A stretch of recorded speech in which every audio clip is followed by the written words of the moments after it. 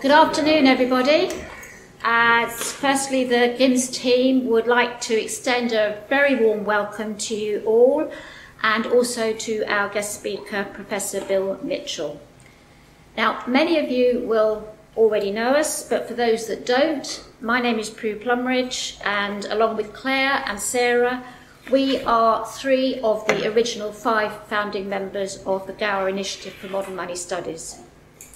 The seeds for the, of the organisation were planted just four years ago at an event in London at which Bill was a keynote speaker. And now here we are in Brighton, a year on almost from our launch in London last October. It's been a bit of a whirlwind and indeed a bit of a learning curve. We are living through very uncertain times. In the peaceful years of my early childhood and youth, I could never have imagined the challenges we would be facing today. So much has changed in my 65 years. I find it a frightening pros- prospect, not so much for myself as for my grandchildren, who will face the consequences if we fail to act. The threat posed by climate change, combined with the already damaging poverty and inequality which has arisen out of the pursuit of harmful market driven ideology, means that it is now absolutely crucial that we stand in solidarity to demand that our politicians act with urgency. As they say, there is no planet B. On Friday last week, it was really moving, and I'm sure you probably will agree with me, to see so many thousands of young people and adults too congregate in towns and cities across the world to demand action from their leaders.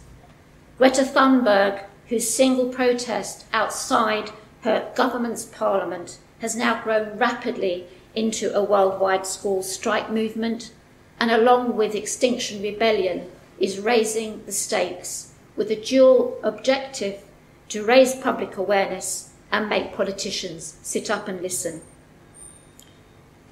The Green New Deal is increasingly becoming a byword for radical action both in the US, the UK, and Europe. And it is seen as a challenge to the current destructive economic paradigm and aims to address both the ecological crisis we are facing as a result and the associated poverty and inequality which accompanies it, not just in the global north, but in the global south too, where people have borne the brunt of exploitation that feeds the Western world's excessive consumption.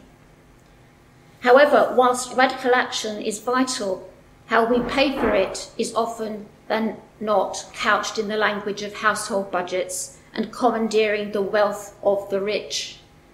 Some ask questions about where the money will come from and its monetary affordability, even though it's our survival that is at stake.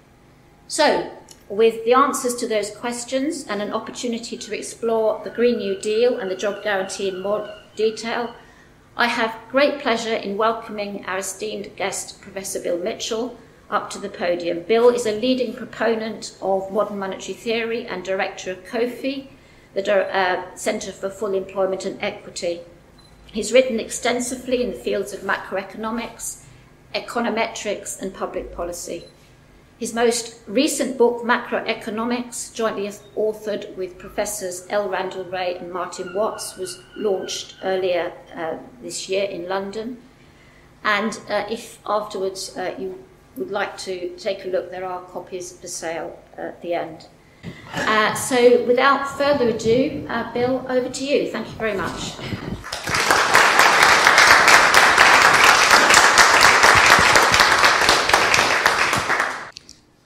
Okay, thanks, uh, Prue, and uh, thanks to the GIMMS people. They, this is a small group of activists who do work on the smell of an oily rag, as they say, and uh, it's great that you can come and support them, and uh, hopefully you can get behind them in in the period ahead and uh, help them out.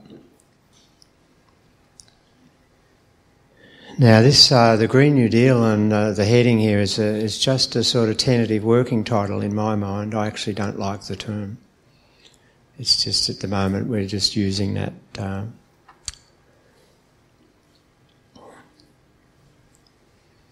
and um, where I and by the way, you know, I'm not talking at all about climate issues today because I'm an economist. I'm not a that sort of scientist.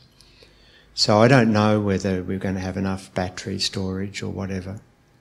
I read the literature as a as a person who's trained to read scientific literature, and I can I can uh, understand uh, statistics and uh, hypothesis testing and all the rest of it. I'm a mathematical statistical person from background, and so I sort of have a, a, an inkling and that and a confidence that the science literature on climate is probably accurate. And like as a as a um, statistician myself, uh, I understand standard errors, and so uh, and I understand uh, forecast errors, and so you know I'm we're not necessarily going to pin them down to 12 years or 14 years or 25 years or 50 years, but it's happening and so I'm not talking about that at all today. I'm talking about the economic and social aspects that I see are relevant to this debate. Uh, and the first thing that that I think is missing in the debate so far, although there are groups that are starting in this way, is that we've really got to, you know, for this to work. Uh, and to, as you'll as you'll hear, I think this is a dramatic a dramatic transformation required, not just around the edges anymore, then we have to have social purpose. None of the big changes in history have been have been uh, managed peacefully and uh, effectively unless unless everyone buys into it. And, and um, that's the first point. Uh, the second point is that um, there's been a lot of play on the concept of uh, Franklin Delano Roosevelt's New Deal in the Great Depression of 1930s, and that's where Green New Deal comes from. And uh, and I don't like that because uh, if you go back and understand what the new FDR's New Deal was, it was what I call, as an economist, call a cyclical measure. It was a response to a massive collapse in non-government spending uh, rising unemployment, dramatic meltdowns of communities, particularly farming communities in, in, the, in the US. And the government understood that the existing economic logic, which we now would think of as being sound finance, it's a prevailing logic again now, was going to lead them to ruin. And so they needed a, what we now call a massive fiscal stimulus which uh, provided relief in the form of cash handouts and jobs, uh, temporary jobs, while the mess of the 1929 financial collapse worked its way out of the system. All of the debt was restructured, and and and we could get resume normal um, coverage, normal behaviour. And so it really wasn't a major structural transformation at all. There was, there was one element that had longer lived effects, and that was the, the, the, finan- the, the, the legislation to restrict banks and the financial markets, Glass-Steagall Act. And there were obviously legacy uh, um, outcomes and benefits of some of the large capital public works project, projects that were put in place, like Yosemite National Park, the Tennessee a hydro scheme and those sort of developments, which deliver benefits to this day. And in Australia, for example, I tell the story that uh, in the 1930s, if, you've been to Victoria in Australia, one of the greatest tourist uh, um, facilities is called the Great Ocean Road. And it goes down from Ang- Geelong, sort of, down to Apollo Bay, right along the southwest coast and that's um, you know all of the beautiful surf beaches and that down there, the holiday places. Um, a multi-million dollar annual tourist incomes generated from the traffic that goes down there. Well, that was built in the Great Depression by the, by men, including my grandfather, who dug, dug the road out of the cliff. And I use that example to, to, to disabuse people who say that government, large scale government projects like this can't deliver long term sustainable benefits. But the point was that the Green New Deal was not a major structural shift. I'm just going to adjust this.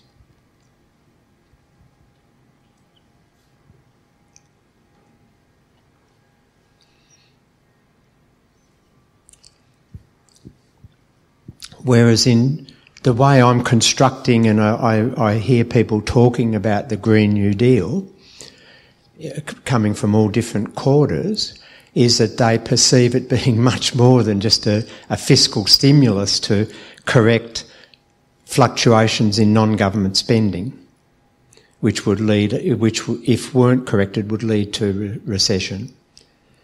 The the way they're they're thinking about it is that it's going to be a, a, a, major structural shift in in the way we produce output the way we, uh, our, the jobs that we will have available to us, uh, the, our consumption patterns as households, major shift in all of those things, which will, which will be transformative rather than temporary stimulus of government. And it will, in my view, fundamentally alter the the, the, the contribution of the public sector via the private sector in resource allocation, bias towards the public sector. We're going to have to accept, in my view, bigger governments with greater command over, on, over the productive resources and greater regulative and uh, authority We've, in the neoliberal period, we've shifted to a position where the government has taken increasingly hands-off positions and allowed the so-called market to distribute and uh, patterns of uh, of infrastructure and investment and production. Well, that's going to have to change, and that's a that's a permanent shift, not just a temporary stimulus. And that'll mean that we we're going to have to get used to again, in my view, a fundamental role in our economic lives of and social lives of government.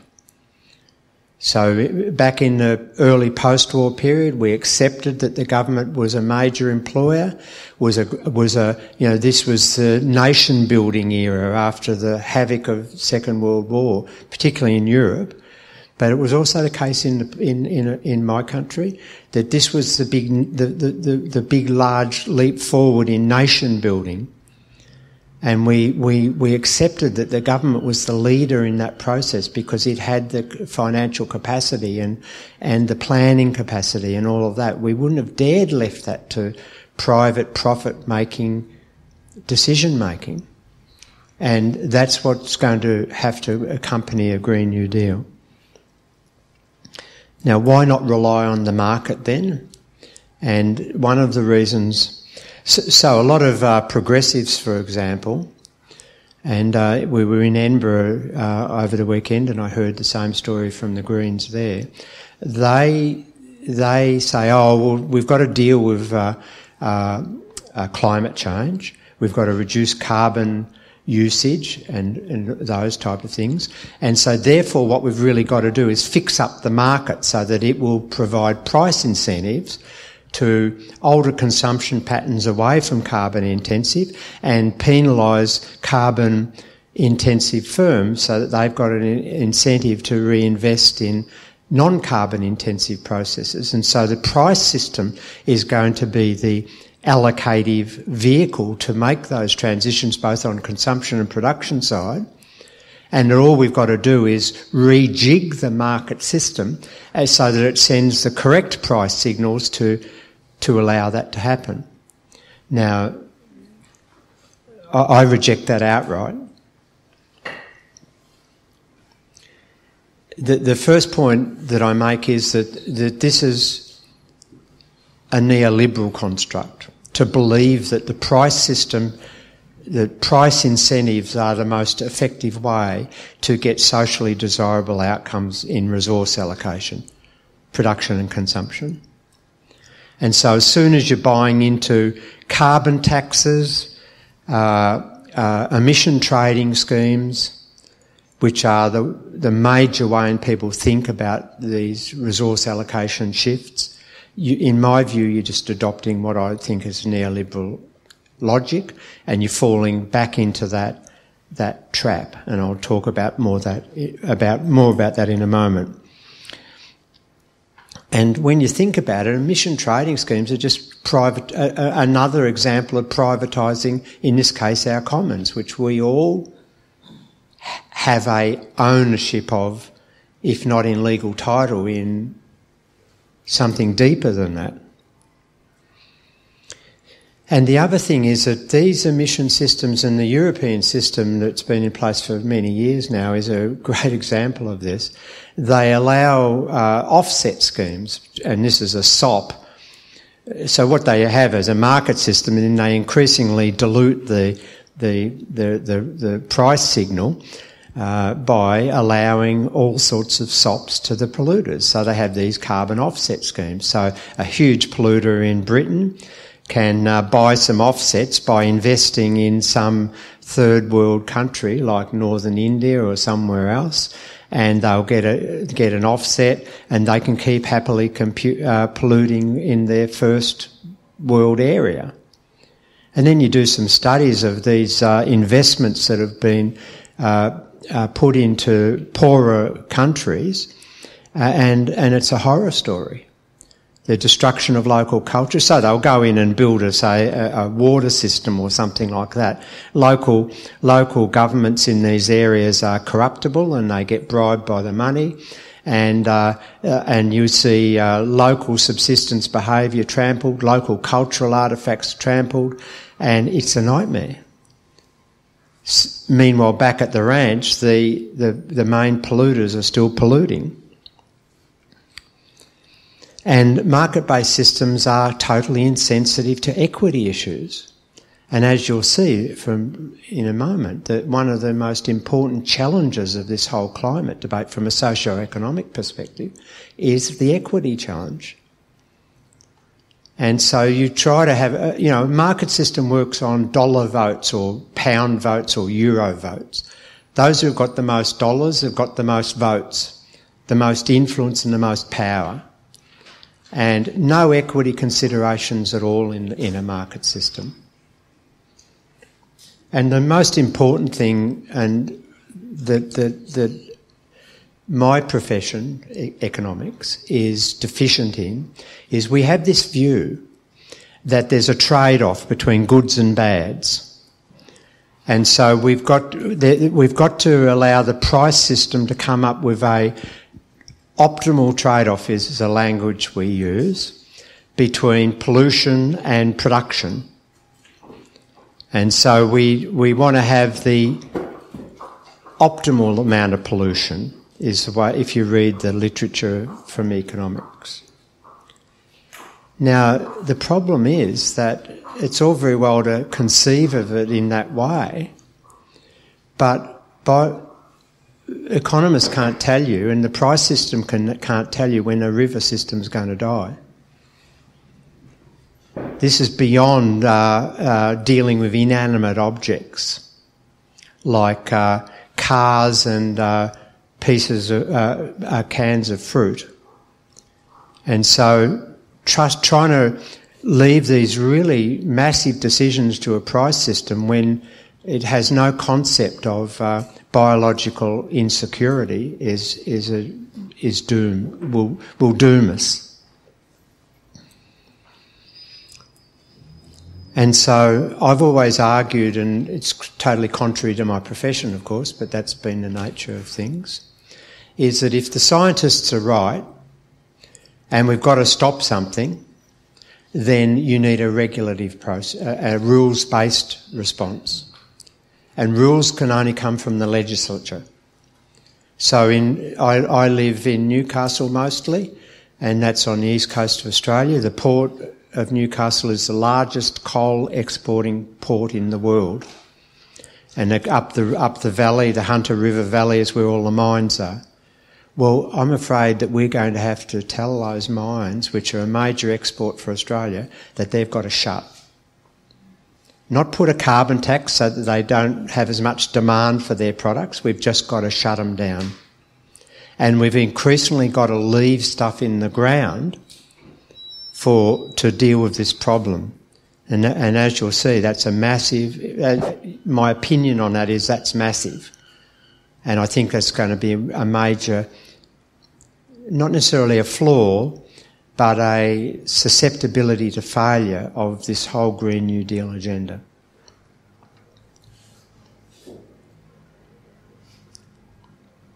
Now, here's the other thing.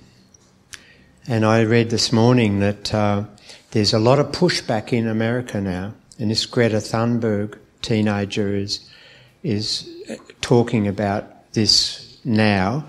And I don't know how a 15 year old has this maturity, but she's either incredible or getting solid backing from adults. But the, the latest line is that if we link the Green New, the climate issue with a liberal agenda, and liberal in the proper meaning of the word liberal, so, you know, workers' rights, uh, community rights, uh, employment, education, infrastructure, all of the socio-economic aspects that have been included in a Green New Deal discussion. Her, her, the argument coming out now from her camp and other camps is that that will be a, a recipe for failure because the Conservatives will never buy it. And so therefore, and climate is a problem for all of us, whether you, where, wherever you sit on the spectrum. And so we should only really concentrate on the climate and ignore all of the liberal agendas that are being attached to that issue. Now, that's one view, it's not my view, because to, to establish that view, you've also got to be able to establish the proposition that there's no causal link between the growth of neoliberalism and the dominance of neoliberalism in policy making and the climate issues. There has to be no link if you think you can just deal with the climate issues alone. Now, I happen to think that you can't construct the climate agenda without a social agenda. And one of the reasons for that is because dealing with the climate issue is going to have massive impacts upon our societies.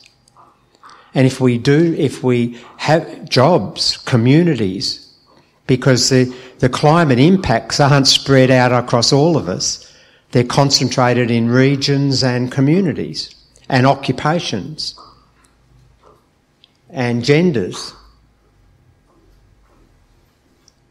M- males are going to be much more impacted immediately in job terms than females.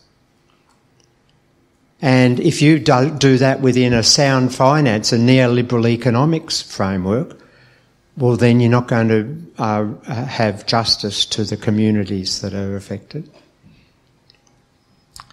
So I think these things are interrelated and have to, uh, and it makes the problem greater, and the solution is much going to be much harder to achieve. And the other thing, if you leave it within a sound finance uh, framework, the current type of way of thinking about economic policy, and I heard this from a, a Green person in uh, Edinburgh on Saturday, is that uh, her line was that the financial markets, again, we want the financial markets to come involved, become involved in green issues and fund them.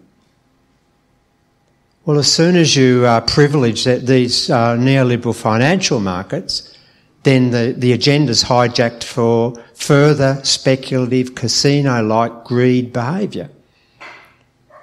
End of story. We may as well jump, take a long walk off the, a very short pier into shark infested water. Now, this just go. So, in other words, what I think is, and this is this point here, that if you do construct it within a broader discussion about neoliberalism and the damage it's causing, well, then that provides you with the it helps define the scope of the initiative. If it's just a matter of having a few wind farms here or there or whatever, then you really have a very narrow initi- initiative. If you construct it within a broad response to the failure of neoliberalism to deliver prosperity for us, which in part has led to uh, an acceleration in the climate damage, then you've got a much broader agenda. And so the, the, the, the and you know, the, I don't expect you to read all that. It just tells you all of the things that neoliberalism, the characteristics of neoliberalism and the manifestations of neoliberalism. All of those things are undermining prosperity. They're, they're fracturing communities. Uh, they're reducing the capacity of workers to maintain uh, income growth and therefore to maintain consumption growth. They're being increasingly led into unsustainable private debt situations, which are being fed by financial markets that are increasingly unregulated and unsupervised. And so you've got a whole nightmare there. And each one of those I could give a talk on about what's happened in those, in, under each of those headings. You've got compromised education and training systems, compromised research processes within my profession, the within the university system that I come out of, and so on and so forth. And so that informs what I think are the Green New Deal elements. And uh, if you then just think, read through some of those things, you've got you've got a, a, a major systemic change to be achieved, not just tinkering around the edges. And for example, in the neoliberal uh, shifts in uh, energy production and supply, that's unsustainable. That's all got to go back into the state hands transport systems have got to go back into state hands. Uh, the financial market has to be uh, has to be massively changed. If you if you understand uh, that only about two percent of all financial market transactions, the trillions of transactions that are going on, about two percent of them actually are what we would call productive.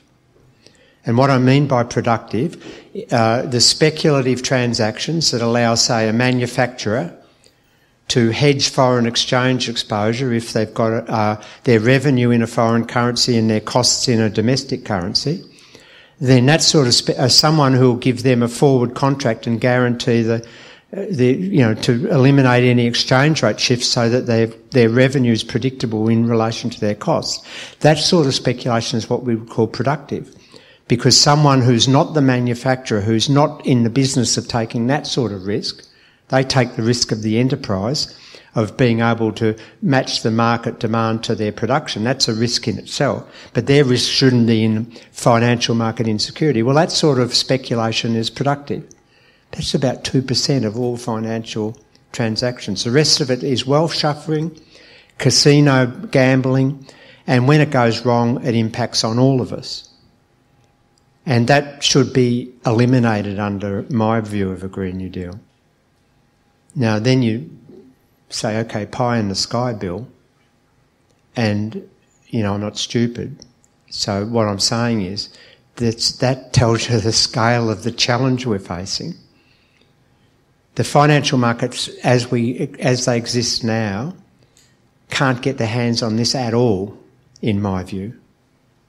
We don't need them, as I'll explain later, we don't need any of their investment money to make the appropriate infrastructure and technological developments and labour transitions and education and training transitions. We don't need their money. We need them to be declared illegal because they don't do any purpose in developing well-being for the population. That's what, so the Green New Deal is a philosophical shift as well.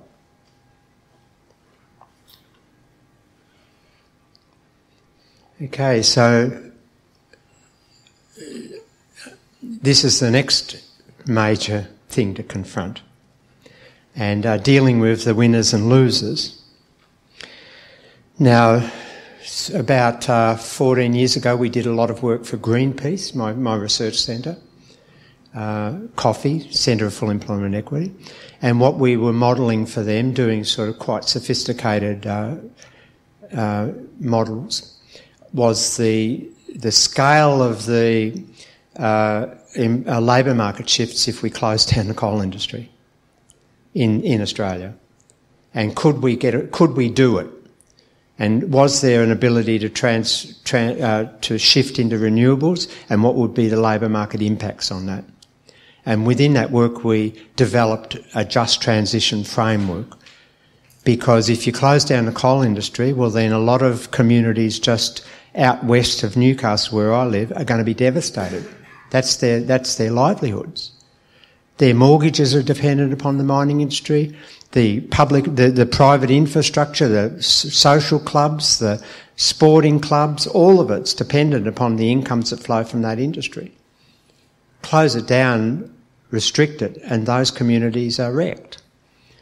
And uh, so this is this is a crucial thing, the to, component of a Green New Deal. The only thing is that a lot of people are using this concept now in the current debate and they really haven't got a clue where it came from, who developed it, and what was the emphasis. And that's what I'll talk about in the next few minutes.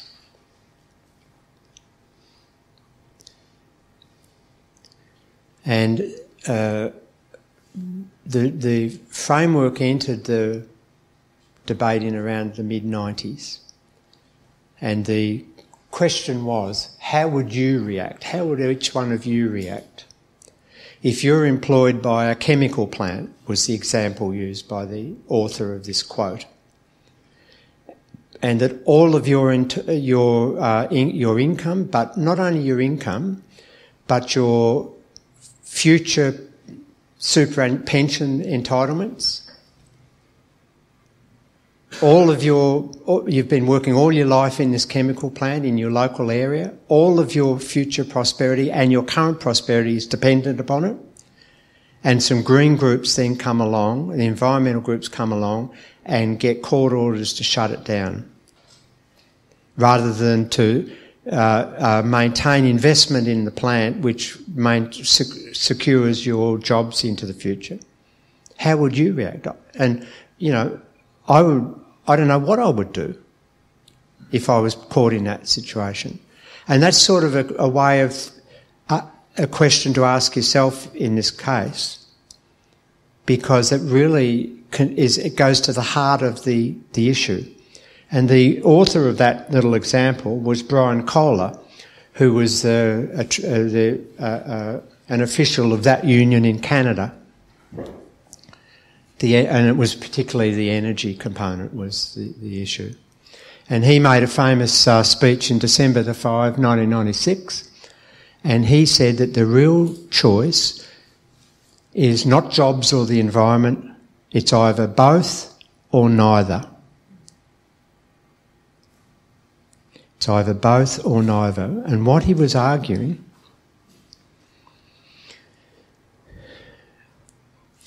was that if green groups come and, or society comes and threatens to close down a chemical plant or a coal fired power station, then what sort of quandary does that put the workers in that plant in who may be totally on side of the environmental debate but are going to be the ones that bear the costs of the closure? And so the just transition framework was trying to develop a way in which those costs wouldn't just fall on those workers and wouldn't distort those workers' choice set.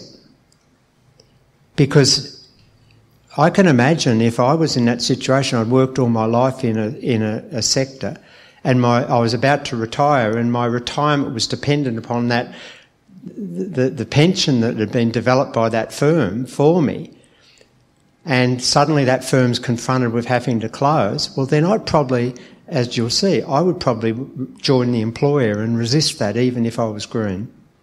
That's, that's the sort of conflicts we have in our lives. And the Just Transition Framework is an attempt to resolve that conflict so that it produces good outcomes for everything, on every dimension. And this is, this is what he said to the, in his speech to the activists. If you attack us in the workplaces, if you under, fail to understand the jobs issue, you'll force us into an alliance with our employers, and then everybody loses. And, you know, I've had, over my career, uh, I've had a, lot of interchange and disagreements with the Australian Greens. Because, in, you know, they'll go into a regional area, in, in New South Wales, for example, and they'll have protests about uh, forestry. And they demand that the forest industry gets closed down. And that's a, that's a reasonable demand given the damage that that industry is, is doing. But that's, that's where they leave it. They go back to Sydney and leave it at there. And what does the community say? Well, these greenies from Sydney are coming up, these cosmopolitans are coming up to here. All they want to do is uh, barricade the access to the forests and stop us doing our job. There's no op- they give us no hope. There's no option. They're not presenting us with any option. They're just saying that they're going to stop something, not not produce something, they're going to stop something. And that something happens to be of central importance to those people's lives, their, their livelihood. And so Brian Kohler got it right. If, you, if, if, if the environmental movement con- constructs the New Deal as going in and stopping environmentally damaging behaviour, and that's where it's at, leaves it, then the workers are always going to side with the employers who resist that.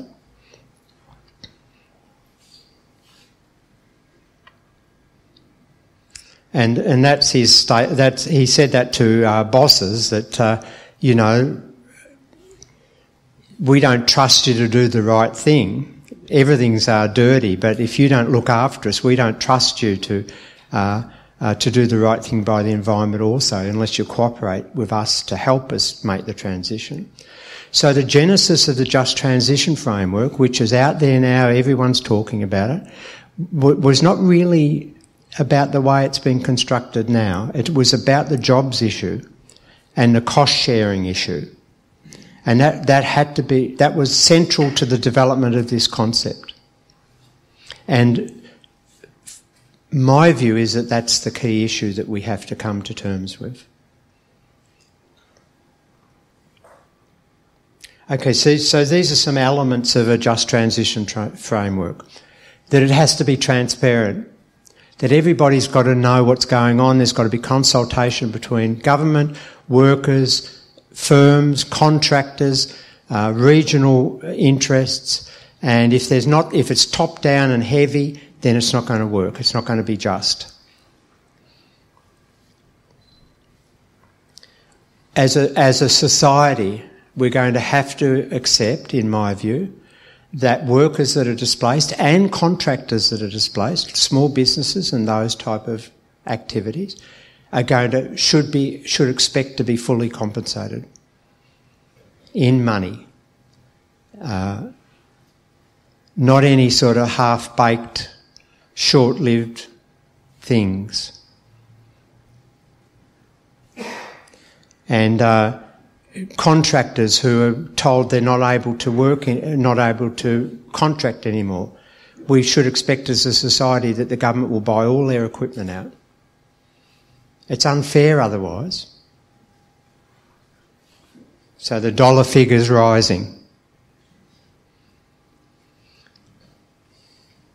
And we've got to work out ways in which to promote the development of good environmental because we're not going to, we're not, while we want people to turn power off, uh, their lights down a bit and not use as much power, that's not going to be the solution. So we need better ways of generating these things. But that's not going to happen unless we have uh, massive investment, and that, that investment has to come from the government. Otherwise, it will be perverted to the private financial market ends. So we need to develop uh, um, coherent access to credit. And then you've got the debate. it's not up there, but you've got the debate as to whether it's the, whether a progressive society should have the government currency capacity subsidising private profit or not.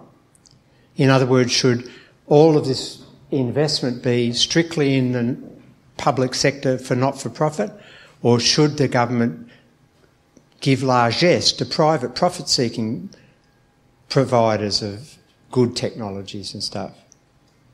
It's, I've got a, an opinion on it, but that's a question that has to be answered in this, and I'm sure that the opinions will be divided.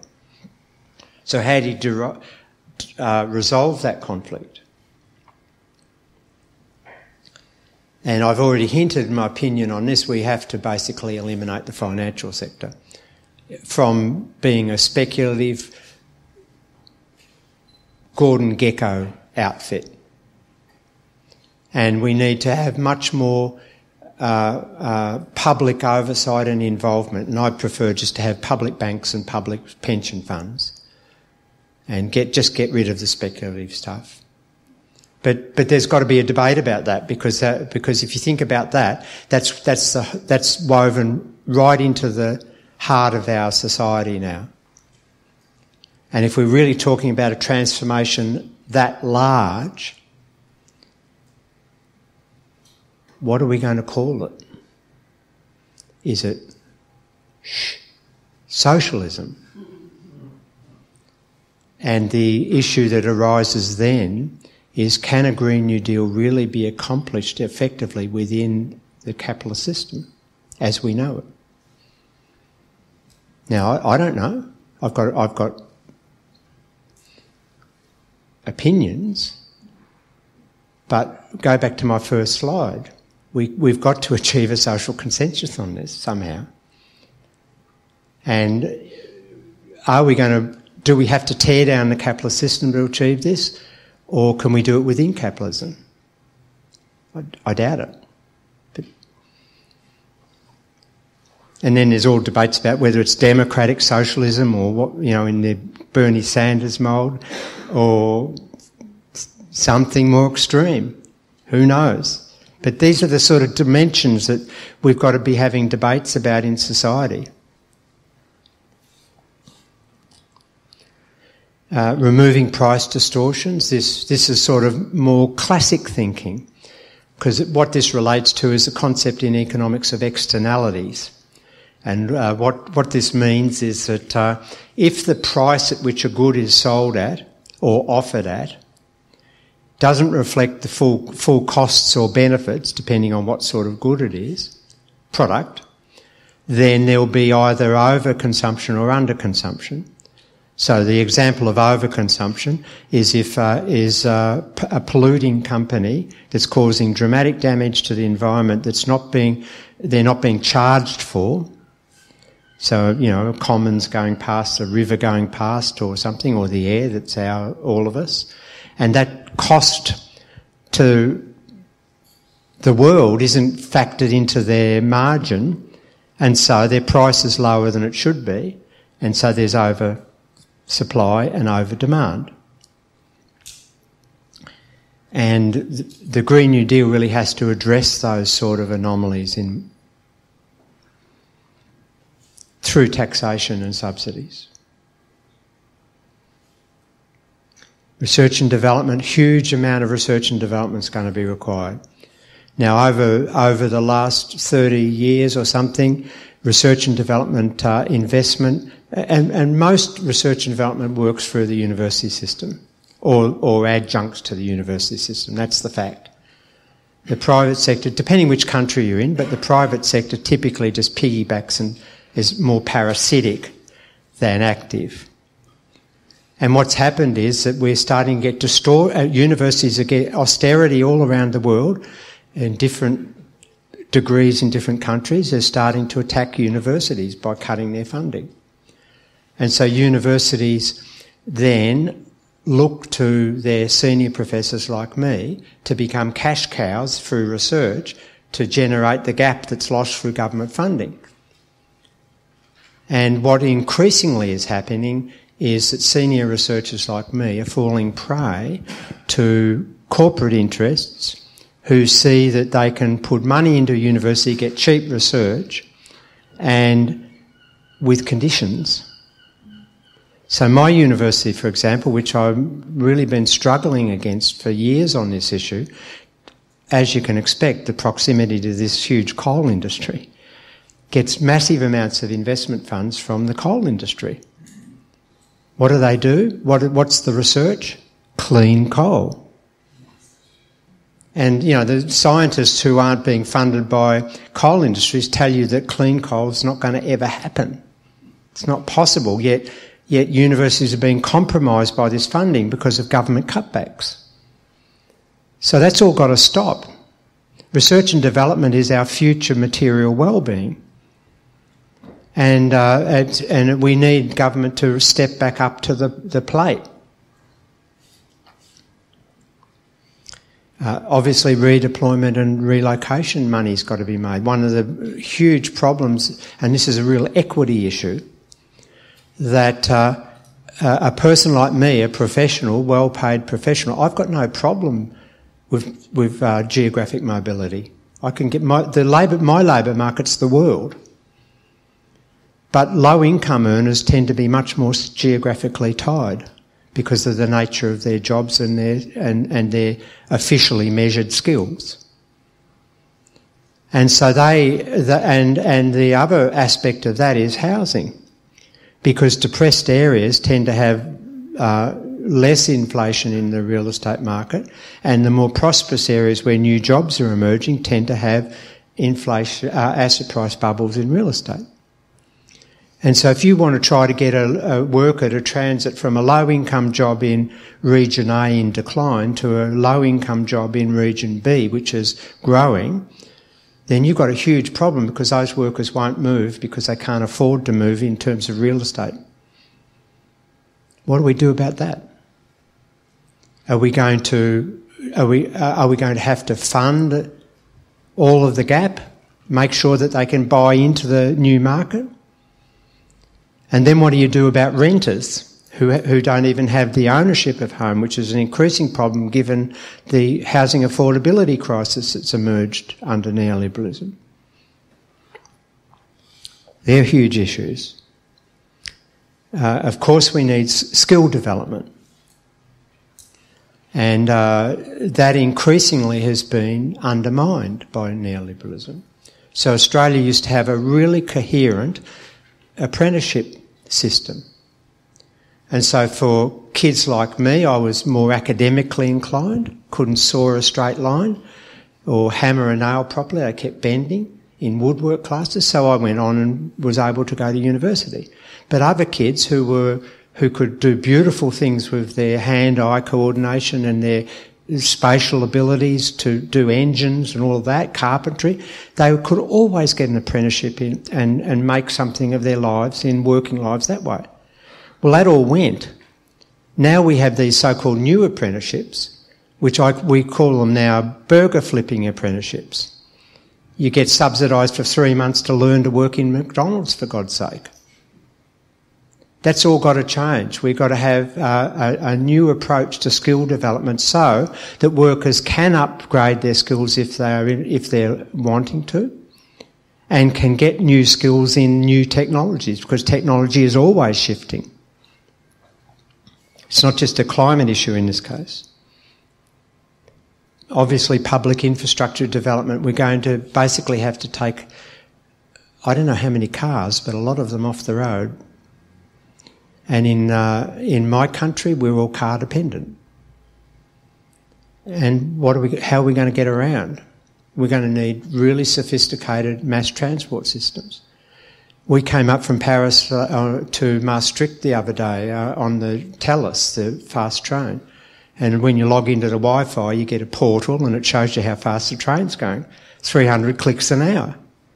And I did a calculation. It takes from Newcastle to Sydney, Newcastle where I, I, mostly live, to Sydney. That takes just on three hours by, by train. If we had had a fast train, it would have taken 38 minutes.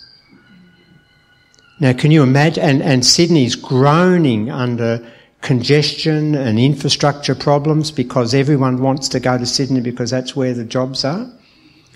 And can you imagine an investment in a fast train from Newcastle to Sydney? It's 20, 38 minutes. You'd be able to commute into Sydney and take all of that environmental strain off that, that part of the world. That's what's needed. These are major transformative shifts in the way we think about public infrastructure. And the neoliberal uh, era has been marked by the degradation of public infrastructure because it's much harder to inflict austerity, uh, austerity if you cut pensions and things that impact today. So the, the way they, they can inflict austerity and get away with it over a political cycle is by stopping investing in bridges and all the rest of it. When I was doing my PhD in Manchester, during Maggie Thatcher's, uh, Manchester, England, uh, during Maggie Thatcher's reign, there was a rat plague in central Manchester. And it was discovered that two rat collectors had been cut from the waterways as a cost saving measure. And to clean up the rat plague would have cost much more than the lifetime incomes of those rat collectors. And then shortly after that, excrement started to pour down Oxford Street. And it was the sewers collapsing, the old Victorian sewers, the old brick sewers. And that was traced to maintenance cuts. And the cost of cleaning that up and restoring it and fixing it were beyond any maintenance that you would have ever had.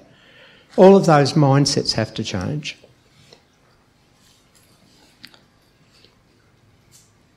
And obviously, we've now got to get over this idea that governments don't create jobs.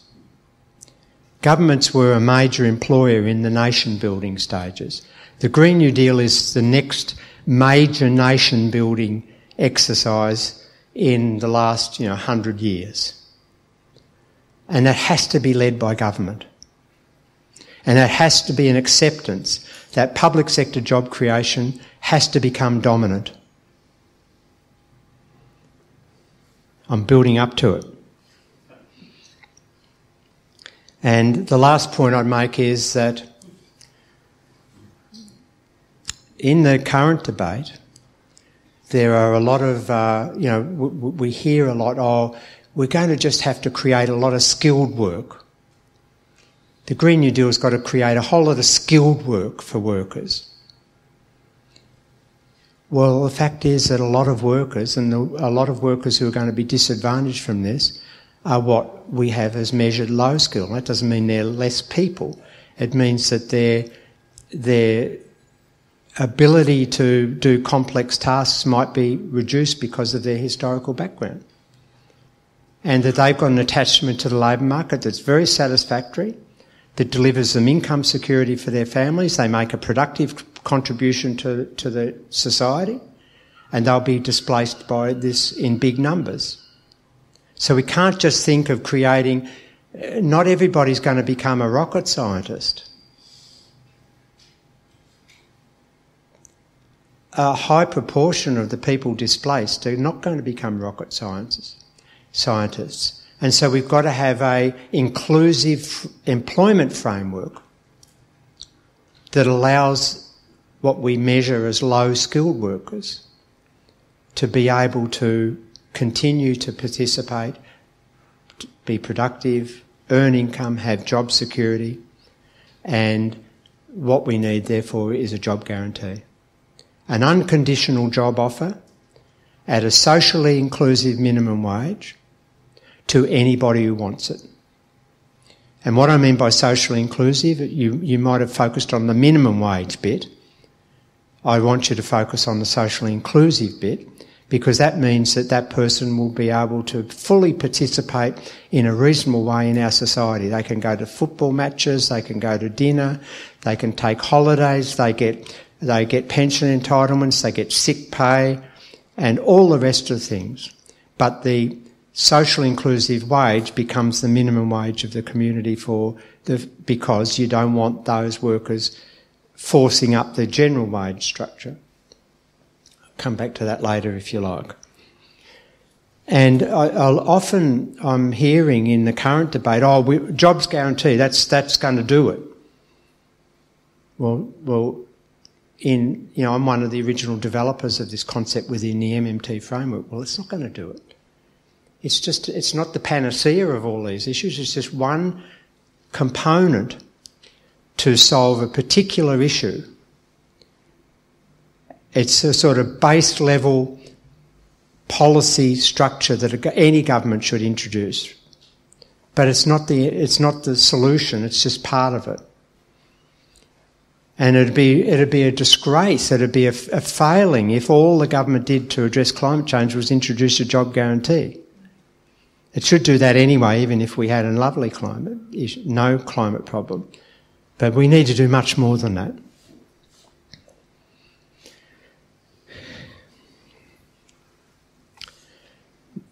The other thing is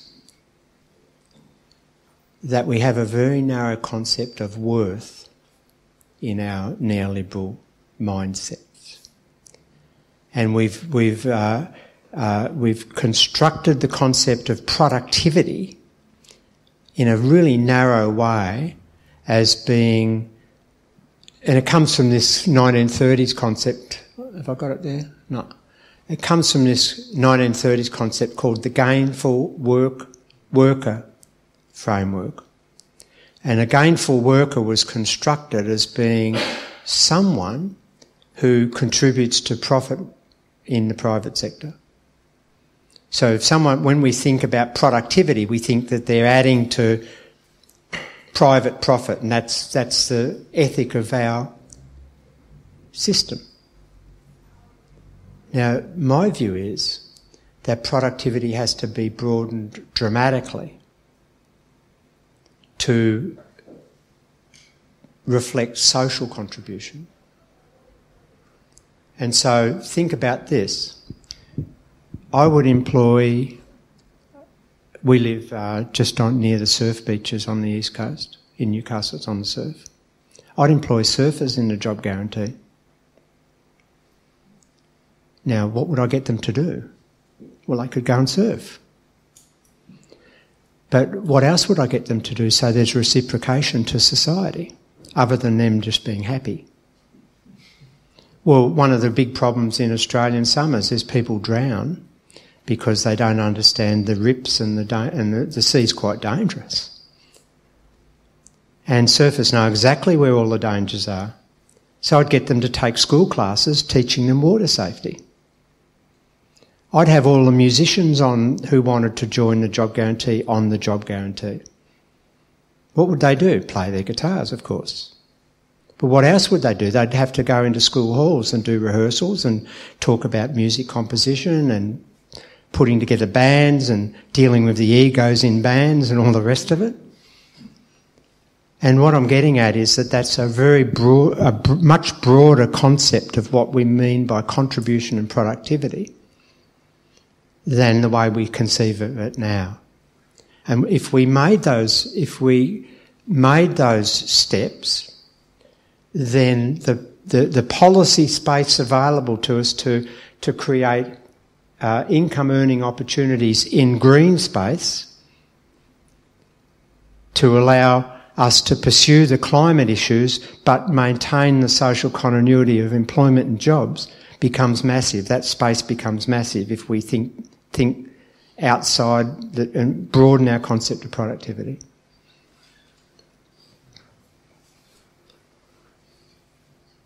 Okay, so one of the interesting frameworks that has been around for a while is this donut economy.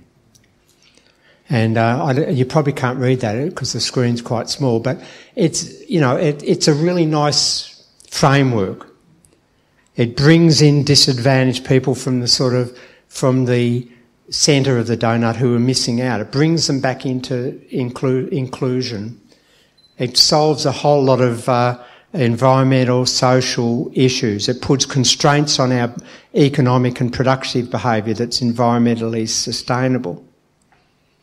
So, for my purposes, you know, I, I quite like this framework, and uh, more thinking along those sort of lines, those conceptual structures would will help us. But you can see over in the bottom right hand corner. Gosh, that went slow. It has no macro in it. The donut economy has no awareness of macroeconomics, which is where modern monetary theory comes in. And one of the things that continues to come up in this Green New Deal debate is how are you going to pay for all of this? I've just outlined a grand scheme where the government is going to have to take a, a massively larger role in our lives and, our, and generating well-being. And massive shift in real resources towards the public sector. And huge policy changes to deprive the private sector of access to those resources. And if we're been living in this neoliberal era, this is the question that always comes up. How are you going to pay for it? Because our economists, my profession, has told you that you'll have to pay higher taxes or the government will have to have massive escalation in its debt and the higher taxes are going to be dreadfully negative in terms of uh, disincentives to work and tax avoidance, all the rest of it. And the debt will be suffocating and all the rest of the sort of project fear type stories that we have about this. So, this to me is the missing link in the Green New Deal debate. That unless we marry it to an MMT understanding, then we're going to ask these spurious questions and we're going to conceive of the Green New Deal in such a restricted way because we're so scared that the taxes will be too high or the debt will be too high and governments will run out of money and they'll go broke or the, for, the foreign currency markets will destroy your currency because they'll think you're out of control. And this is where we've got to start our understanding, I think, to get, a, get ahead of this. So the last few t- slides about, are about that. Now, this isn't a lecture on MMT. Uh, it's a lecture about how MMT talks to the Green New Deal. But you can find plenty of my work as one of the developers of MMT on, on the internet, if you haven't already encountered it, uh, to see what, you know, get a deeper understanding.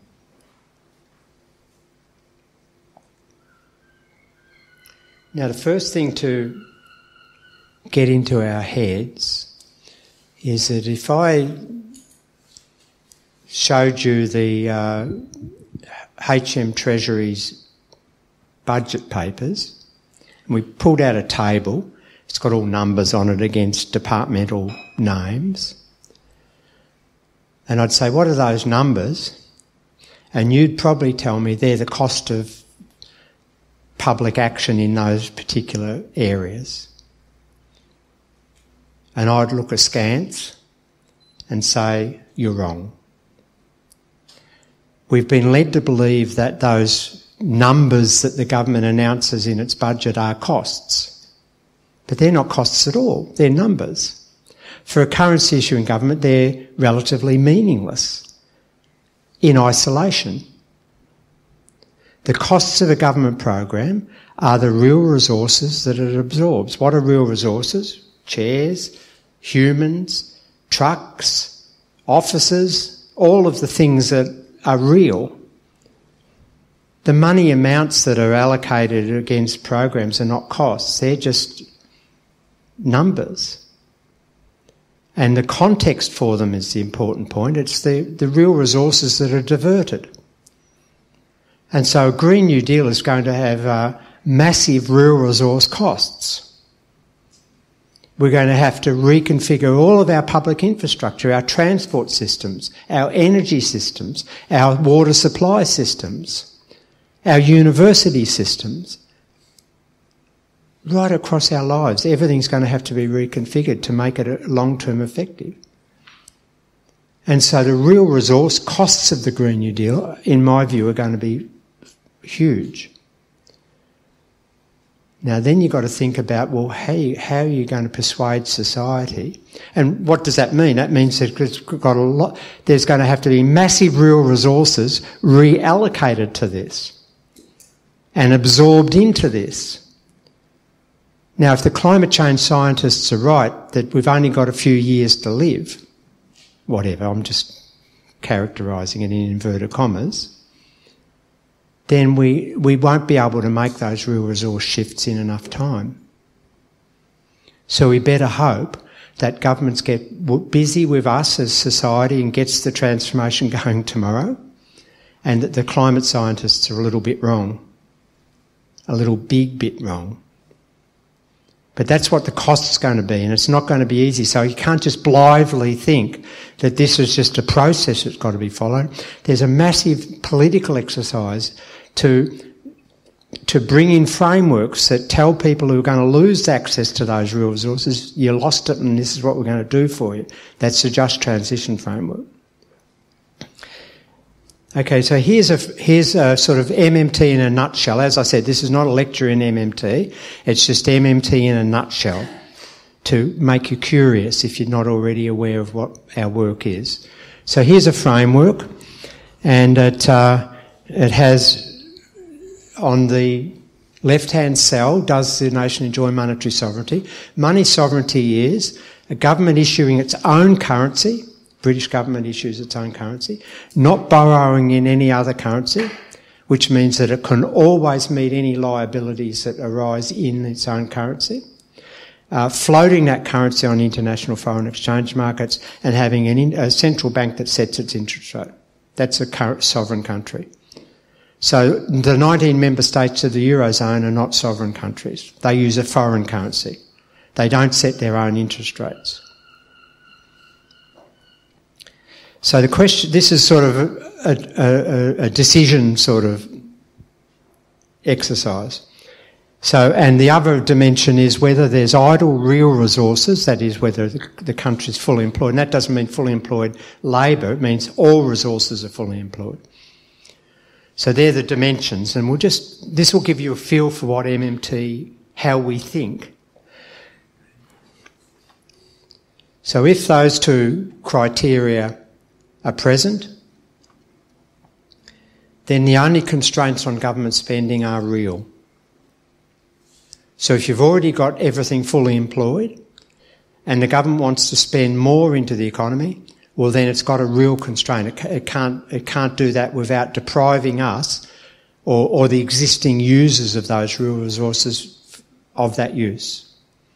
So in that sort of situation, there's a quite a difficult thing. How would they deprive existing users? They'd have to reduce their purchasing power through taxes or through regulation, if, unless we have sort of a command economy where we just take them, which we don't have and we don't want. So that's a first thing to think about in Green New Deal. If, if we've got everything already employed in polluting activities, and non-polluting activities, and we want to shift them to the polluting, non-polluting activities, then we've got a real resource constraint and we've got to work out policies to make that trans- shift those resources to the non-polluting activities. If the economy is not fully employed, well then MMT says there's no constraint on government spending. So the government can keep spending and bringing in resources to productive use without any issue at all, financial issue. So, if there are idle resources, then one other thing we know is that the government net spending is too low. Its deficit is too low, or its surplus is too large. So That's different to if the economy is at full employment. So when we invoke a new deal, the sort of uh, way in which government will have to construct its policies will depend upon the state of the economy. It's much easier to make transitions when you've got idle resources. Because they're not working it now and you can translate, translate them very quickly and relatively uh, easily into desirable activities. Now, in this situation, a government spending has two constraints. It has a real resource constraint because it's always got a real resource constraint. And it's also got a financial constraint because it's got to get the bond markets to lend its money or raise taxes in order to get the capacity to spend and buy the real resources. And so a Eurozone country, in my view, has a much harder task implementing a Green New Deal than Britain has.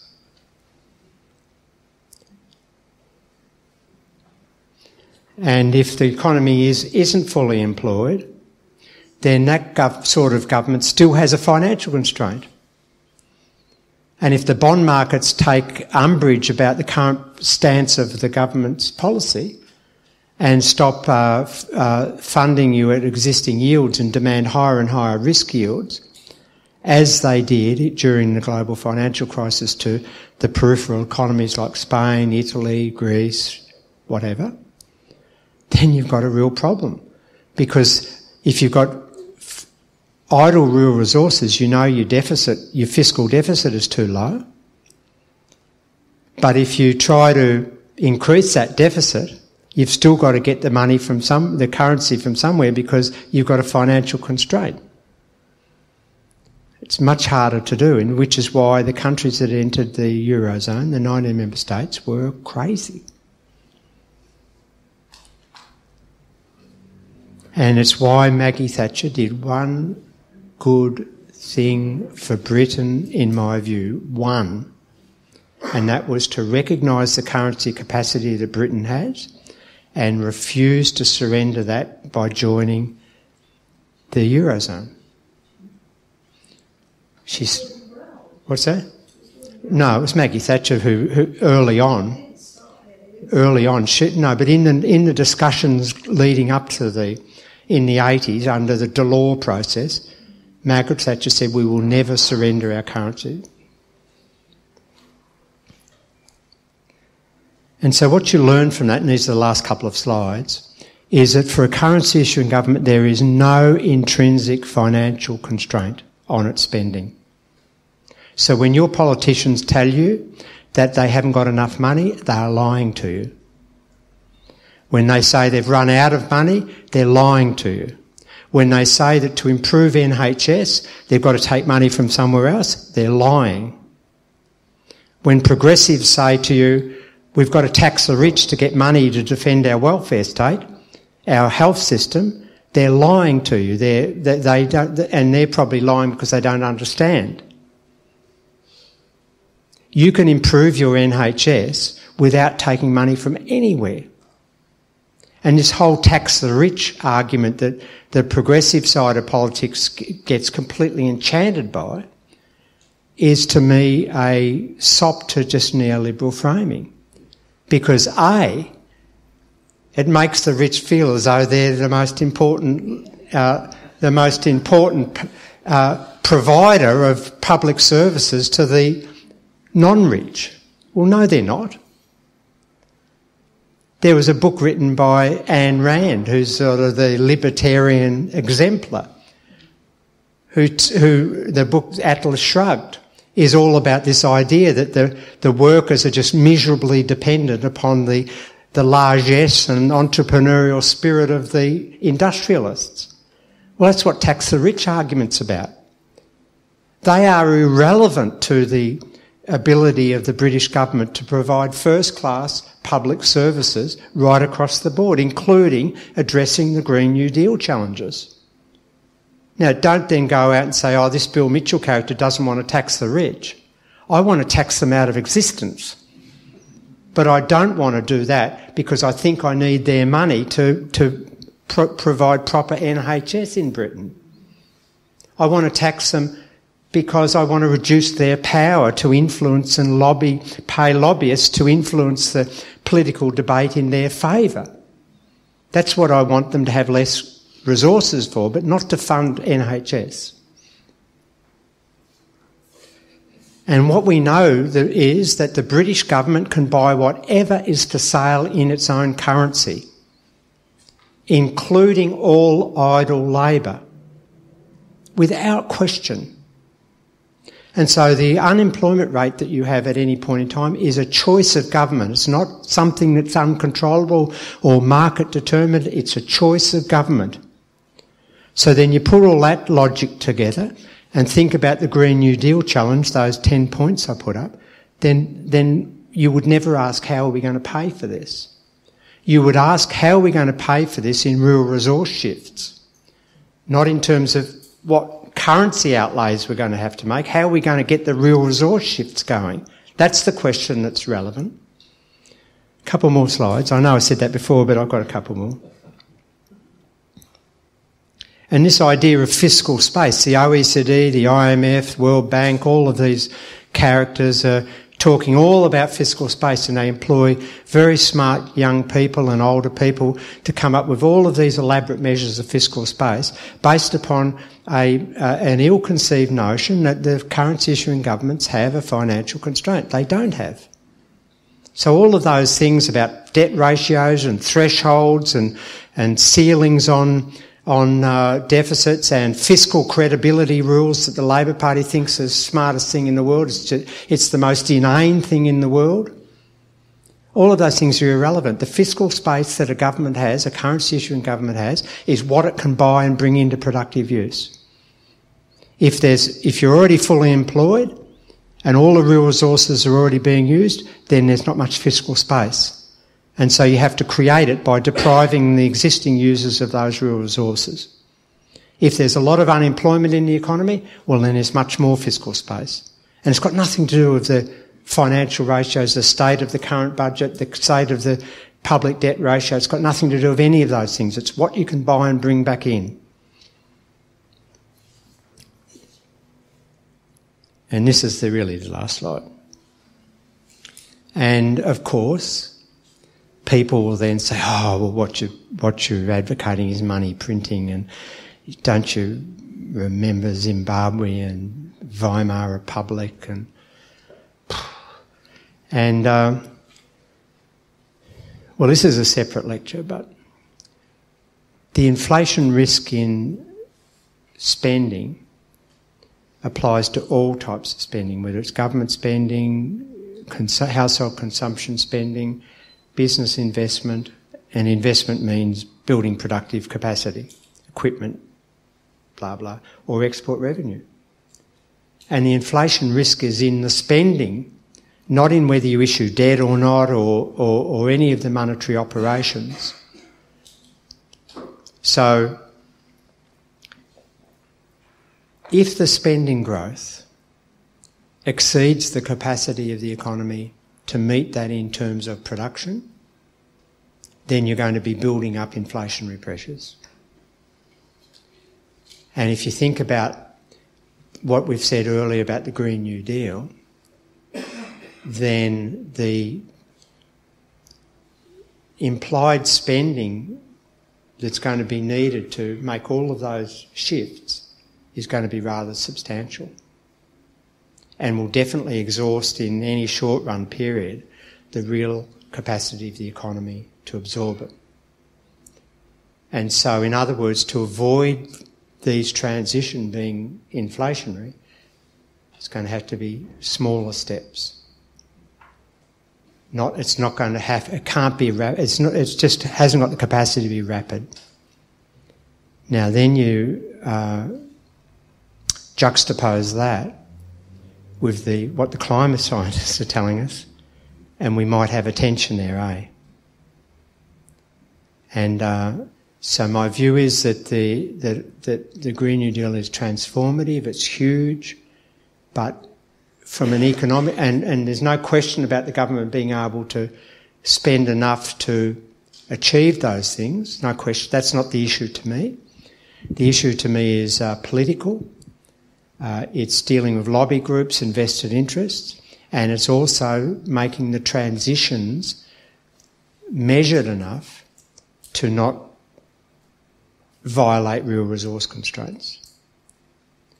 And, and being uh, sober enough to realise it's going to take time. And if you try to rush it, then it'll fail. And now the question I haven't, and I, I won't answer it, the question that I can't answer is have we got enough time for all of that? But, but what I would say is that we don't know whether we have or not, so we better get started today just in case we have got enough time. That's it, thank you.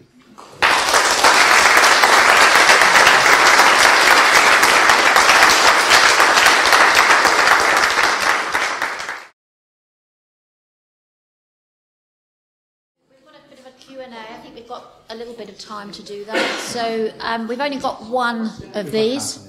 Oh, we, have only got one of these. So yeah, okay. Uh, so okay, gentleman here. Oh, right. Uh, okay. Do you want to use the mic so everyone can hear? Yeah. Thank you. Hello. All right. Yep. Uh, just a quick question, really. It's um, a little slightly off tangent, but it's mainly about MMT, and there's something that's puzzled me. really Well, what I'd like is I'd like some clear examples where um, MMT has been shown to be predictive, descriptive, based on actual real world data. That makes sense. You know, it's a model, so it should be. As I said, this is not a talk about MMT. But whenever I'm talking about MMT, the first statement I make is that it's not, it's ridiculous to talk, say, when we have MMT, or it's, or when we move to MMT. MMT is not a regime that we're going to shift to. It's also ridiculous to say things like MMT policies are dangerous. Now, what does that all mean? And by the way, there's a bill before the US Congress, if you've read about it or that, that proposes to condemn our work, condemn modern monetary theory as a danger to American society. It's brilliant. What I mean by that is that, and the way I express this, is that modern monetary theory is a lens. So these glasses let me see better as I get older. And modern monetary theory, in my view, provides you with a superior view of what's out there now. Of how we understand the monetary system, how we understand the capacity of the currency issuing government within that system, and what are the options available to that. So we're, we're surrounded by it. And um, uh, so when you ask me, is there a demonstration of it? Yeah, let's take a walk outside. That's, that's MMT. It,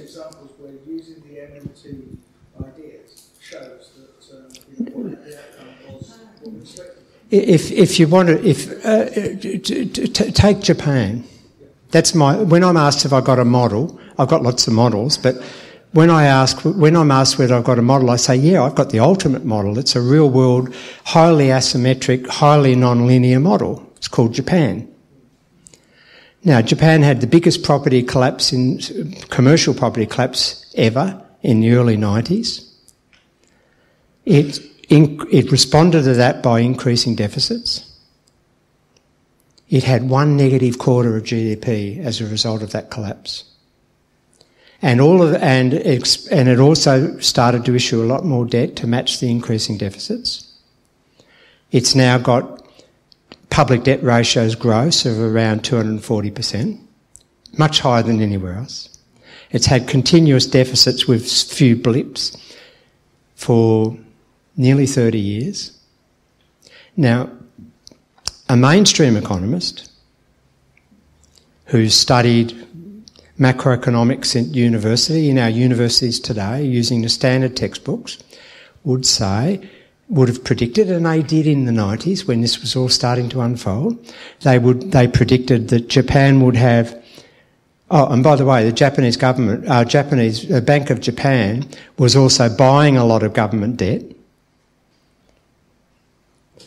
and now holds about 44% of all government debt. And since the Abe period has bought almost all of the issued government debt. So that's what we call money printing. And the mainstream economists all predicted the following, that interest rates would rise sky high because of the call on the debt markets by the government. There was such a strong demand for the higher debt, the competitive forces would drive the interest rate up. That Japan would have accelerating inflation because of the amount of uh, debt that the central bank was buying, and that the bond yields of government debt would go sky high because of the rising deficits, the rising debt levels, and the bond markets would, would realise soon that this was a government that was going to run out of money and wouldn't be able to pay back its debt.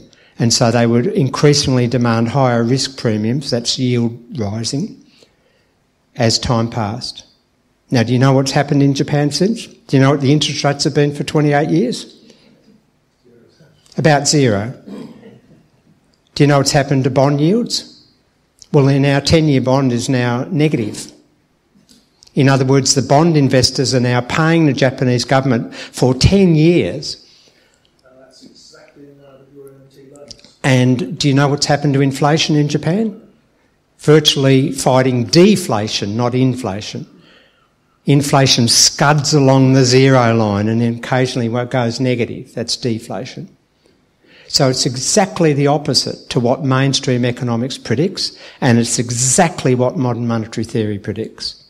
It's 100% correspondence. That's the fact. Yeah, that's what's getting. It's Yeah. Examples like that, where you know, the, the Sorry, it's exactly the examples like that where classical um, economics, the accepted um, uh, model, um, is predicting exactly what didn't happen, and where MMT can be shown to predict. 100% At which point, then you can probably then say MMT lens is, is, is a good guide to the future.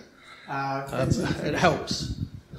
And the other point is at the height of the global financial crisis, in the early days, everyone was predicting with quantitative easing that there'd be, there'd be accelerating inflation. We, MMT economists, it's all on the public record, we said there wouldn't be any inflation arising from the quantitative easing. The governments who run their own currencies would never run out of money as they were pushing in stimuluses. The mainstream economists said that as, as a result of these rising deficits and rising debt ratios, government yields would go up. Well, the only time they went up was in the Eurozone, and that was because they don't, those member states don't hold their own currency. So they've got credit risk default. But yield, 10 year bond yields in Japan are negative. In a, a number of countries are negative. Now, no mainstream theory predicted that. MMT predicted it 100%. I gathered from your talk that um, from the beginning you said that um, the, the Green Party would just close down coal mines, but then you'd need to compensate people with money. But if you've got, say, a, a collapsed local economy and then you're handing out money, you've got an inflationary situation. And at the end you said that you, you need a proper transition. So are you suggesting that we need to build the, the tidal power and the wind farms and get them established with workers before you close down the coal mines, etc. Um, Yeah, I mean, when I said close down the coal mines uh, with sunset clauses, the, I, in Australia I advocate 20 years, a 20 year transition. But you just can't close them down overnight, unfortunately. What's that? Yeah, what? Yeah, I mean, I, I was living here when you did that. that. I was living through the miners' strike. And we would, we would scud down to the northern Welsh beaches from Manchester to try to get coal because all of our hot water and showers was driven by old stars. No, I mean, this is, an, this is not an exact science what we've been talking about today. It's an art form and it's really, it's going to be a really tricky thing to get these transitions smooth. And if we just do things without forward planning and without adjust, slow adjustments, then we'll make these sort of mistakes. And so, you know, in, in my region, the Hunter region, which is the coal, a coal region, I've been advocating for years that, and we've had decline of manufacturing. We had a BHP Steelworks was the major employer, not coal. BHP, the big steel company, that was the major employer, and they they walked out.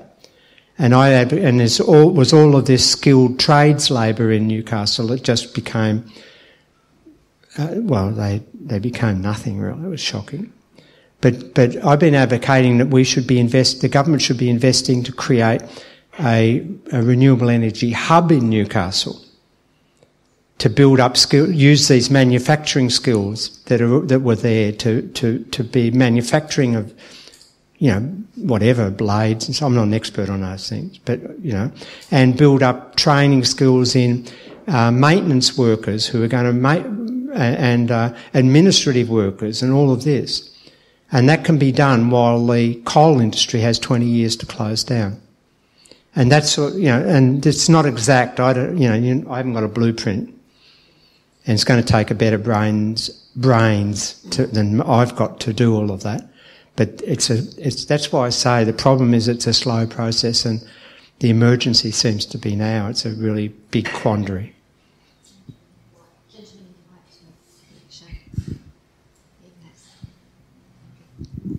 Thanks, Bill. Um, on your sort of 12 pillars of what would be kind of in the Green New Deal, um, things like the job guarantee. could be more than 12. Yeah, okay, in the ones that we went through, there was things like the job guarantee, um, abolishing um, financial market speculation. These are sort of things which I'm sure you'd like to just see implemented anyway, and as part of um, policy seen through an MMT lens. Do you see the climate issue as being the only game in town in terms of creating the kind of huge political shift required to implement things like the job guarantee, abolish it, uh, radical changes to the financial markets, um, in the same way that we moved to neoliberalism in the 80s. Yeah, that's that. Can everyone hear me? Yeah. Okay. I've got the mic back now. Power when you've got a mic, I'm told. Um, that's a great question.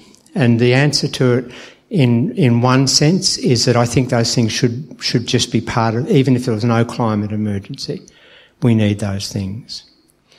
But uh, the second answer, part of the answer, is that it's clear that we haven't had those things, even though pain and suffering of neoliberal austerity and uh, you know the shift of power to corporations and the the, the, the shift from government of being mediator between capital and labour and an agent of capital, those things have all happened, and we haven't been able to get those things despite the, you know, our, our communities falling apart, our life, you know, I, I, I can't believe how many council libraries have closed in Britain as a consequence of government cutbacks to the council grants and stuff.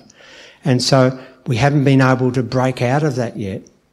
And so I'm thinking that we need, a, and I thought the global financial crisis would do it. I actually was really wrong about that. I thought that this is it. Bill, your time in the sun's coming because this lot are going to go.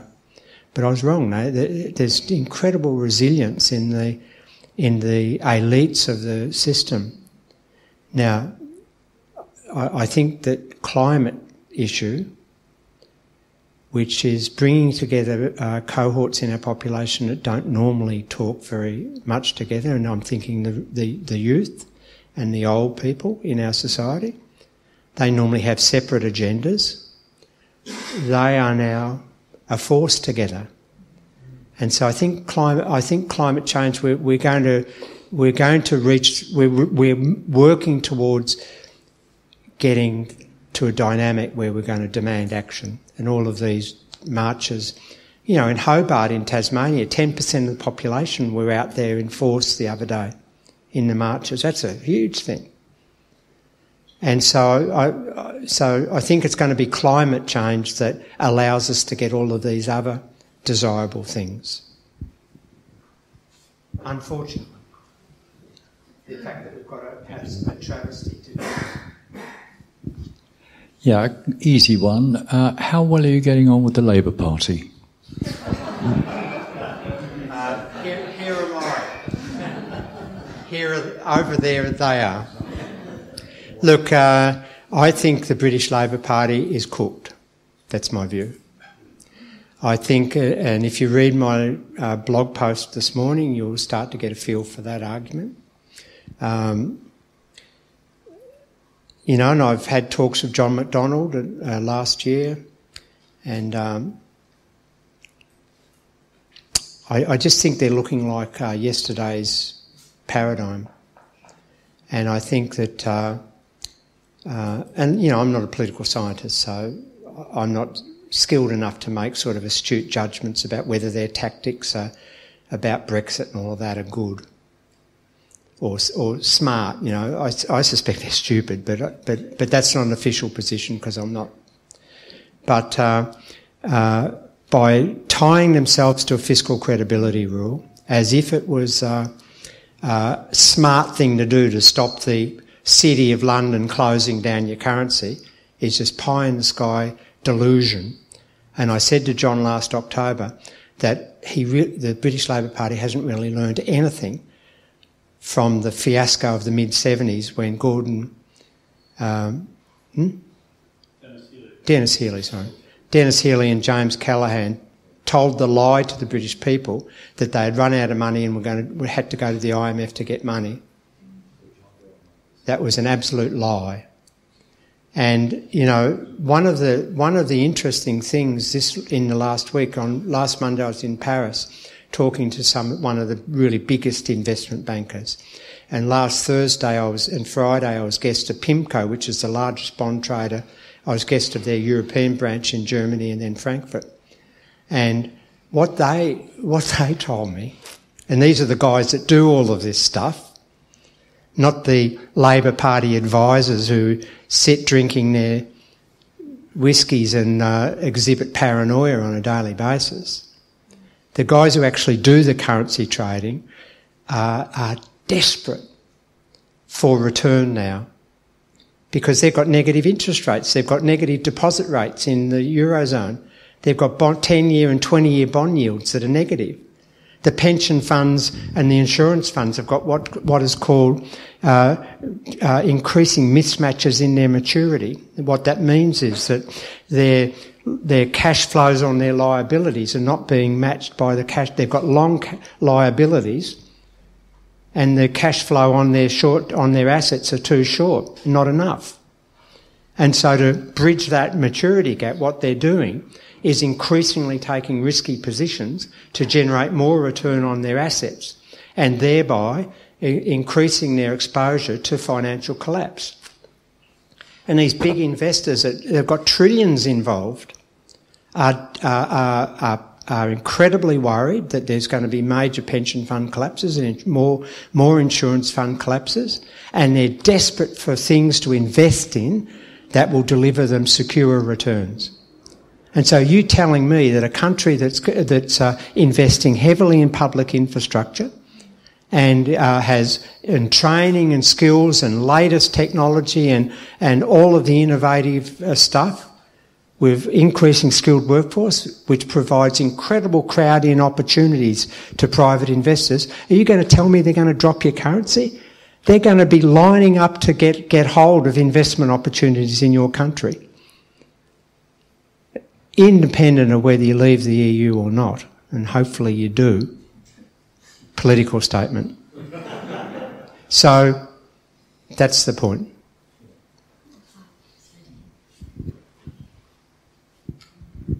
Hi, I'm almost scared to speak. my, because my background's got nothing to do with monetary theory or banking or any of that stuff, and it's all a complete spider's web to me. so, if you've studied economics, you're not going to be able to understand it. okay. So, so my background's in health, and my I spent 40 years looking after or looking caring for people with profound and multiple disabilities, to whom money means nothing. So my question is, if we start with people and what people need, people need somewhere to live, something to eat, uh, people to care for them. Um, then why, we need to almost break the link between work and income. And one way of doing that is to provide universal basic incomes to people. So I just wondered what your view was on that. right, I've got to go at 4.30. well, just say if it's a good idea or not. Look, it's a terrible idea. Uh, and all of the things that you, you, all of the things that you express concerns about can be accomplished within a sophisticated concept of productivity and gainful work. And my two minute tirade against UBI starts now. And stop me when got a clock on. Um, first of all, the progressives who advocate UBI say we can't do anything about the unemployment. It's, uh, it's a source of poverty.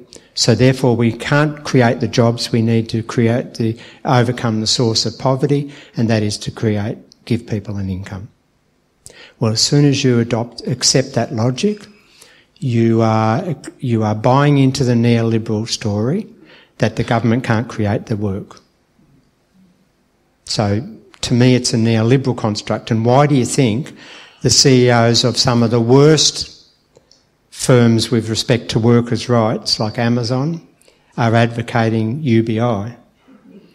Any, any time that, that someone like that advocates something, I get suspicious. That's the first point. The second point is that it constructs, it's an individual construction of a systemic problem. The systemic problem being the lack of jobs, which we know that the government can resolve if it wants to. It's a political decision, not, a, not anything else. So it's this, it's playing into this individualism that we, that neoliberalism, neoliberalism has encouraged because collectives are very dangerous for elites who want to grab more of the real income and have us having less. Because collectives lead to trade unions and that sort of political activity. And so this individual construct then gets expressed through the policy as treating the individual as a consumption unit. So as long as we give them a dollop of dollop of cash so that they can go to the supermarket. Uh, we just want them to piss off and stop hassling us for work. Well, I don't accept that because in my job, I've got lots of friends, I've got social identity, I've got satisfaction that's measured in the same cultural values of the rest of the society. That I, that I met my wife in the workplace. I've got a social network from the workplace. I travel and meet all people like you guys. If I've got a UBI, I'm sitting around in Newcastle, progressively my social network shrinking, and I'm becoming alienated and dislocated and a consumption unit. Why would a progressive advocate that sort of system? Now, hold on, one last thing.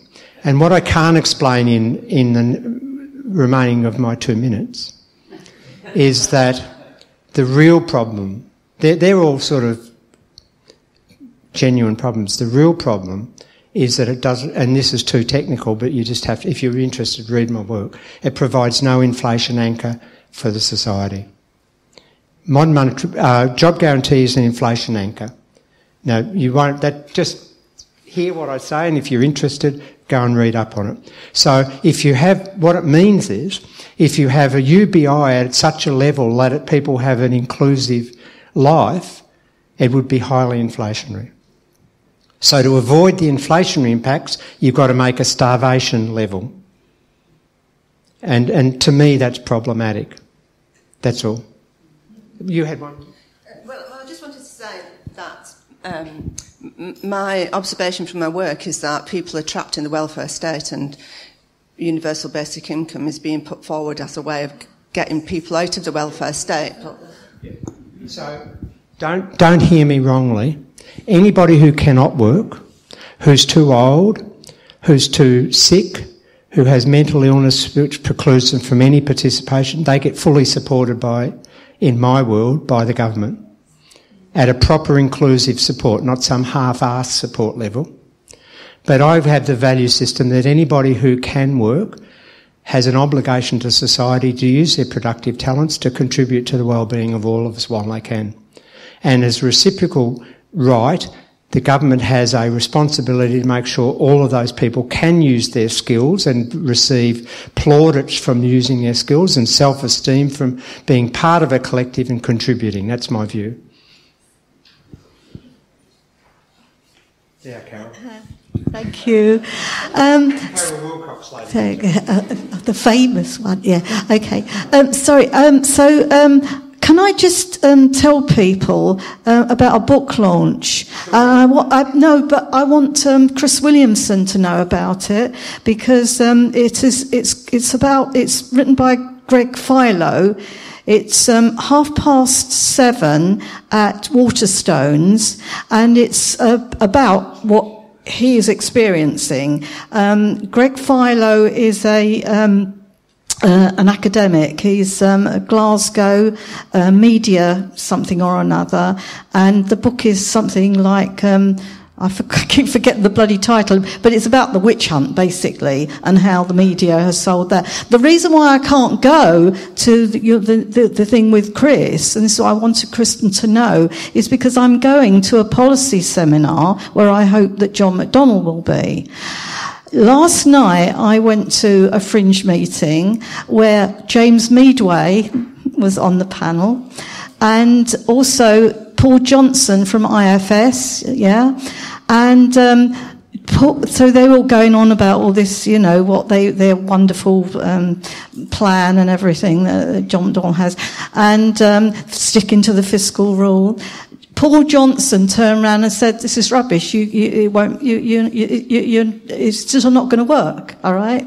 But can I just say the good thing? Okay, at the end, I went to see one of the other panelists, um, uh, Anneliese Dodds, who's on the Shadow Treasury team, uh, who's very good. And I went up to her and I said, "Can we come and see you again um, about um, and talked about MMT? And I'll take someone with me. Um, perhaps we'll see you in Oxford." Okay. And she said, "Oh yes, very interested. I've been reading up about MMT."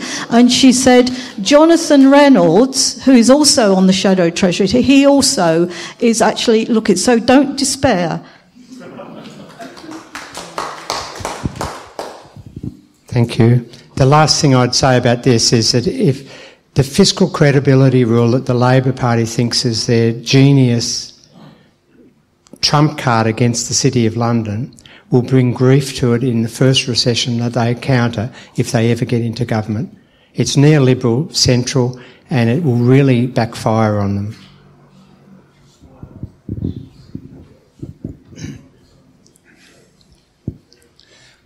I wondered if you could say a bit more about the transition period, the time you mentioned 20 years, and, and we're being told that it's much more urgent than that.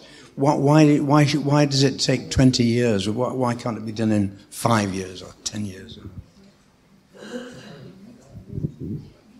Because you can't. Uh, you, unless you want to, if, if, if as progressives we want to be equitable and fair as part of the deal, well then we've got to honour certain pre-existing things that were done in good faith. And there's a lot of uh, there's a lot of contractual things that go out 20, 30 years. And I don't think it's our right to, uh, you know, to, to just trample on those things. And well, they may be able to, but you know, I, I think that it's going to take time. I, I can't give you an exact. It's not going to be tomorrow. Yeah, sure. We could just we could just announce tomorrow that all coal industry in Australia is finished. Yeah, you could do that technically. Yeah, but but but but then you'd be so sued by in the for breaches of contract, and then you can say, okay, you'll legislate all of that away, and then you're sort of on the slippery slope to authoritarianism. It's not the way I like to think of the problem, but I think it's a huge problem, and urgency is the issue. So the fast track you can do it, the better.